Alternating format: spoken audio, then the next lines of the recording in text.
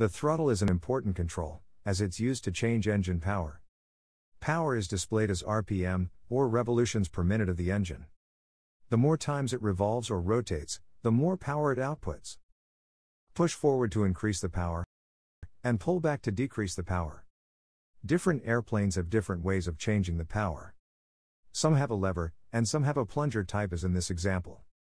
Almost always, you push forward for more power.